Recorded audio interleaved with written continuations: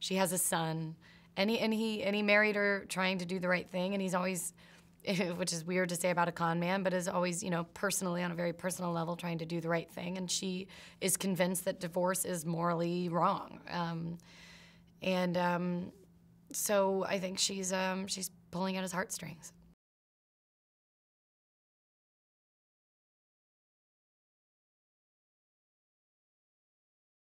I think these characters are all trying to accomplish their own happy ending. They're all trying to um, they're all trying to uh, be their better selves if that's have a better life and that's through this person suffering. Sorry collateral damage.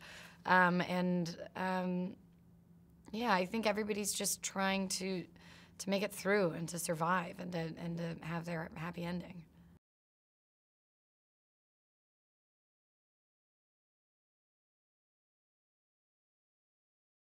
the bedroom scene with christian um, after when he when he comes in from uh, meeting my boyfriend. I just it was so funny because a lot of it was written and, and we came up with it kind of in the moment or like right on on set because I just the idea that like when Christian said, um, you know, well I would say this, I had such a really great, amazing, fun character. Right, I could say, well Rosalyn would say this, and it was just so insane.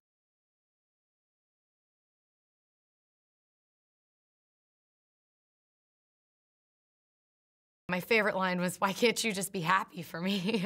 when she's talking about moving to Miami with this mafia guy with her son, uh, with his son too. Um, because that, that just basically says everything about Rosalyn that you need to know that she really just does not get it.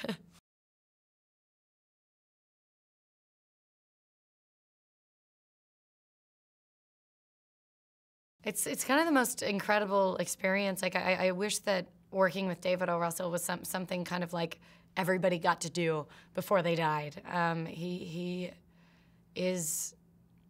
I have him to thank for everything, uh, for my career and for also teaching me uh, so much about myself.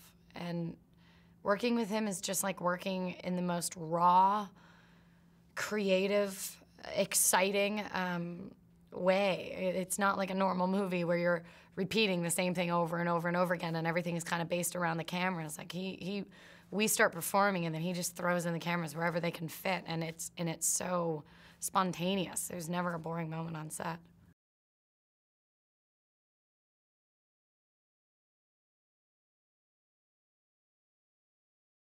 It creates a, a lot more vulnerability, which I, I think is where the um, where his I don't know, um, this flavor comes in is everybody's on their toes and everybody's thinking and so and so that's real and, and it's very raw and I think that that's I had never worked that way before and it scared me and then he learned very quickly I work better when I'm scared or when I'm doing something that I don't think that I could I, that I can do.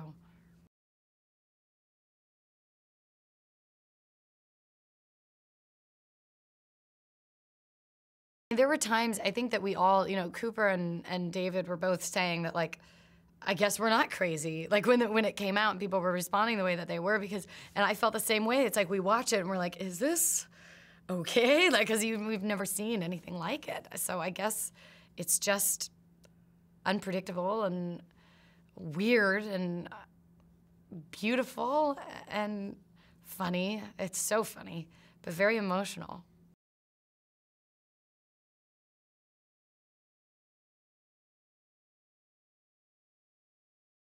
Well, it's trickery, but not trickery. It's it's kind of uh, winning in a very creative, uh, tricky way.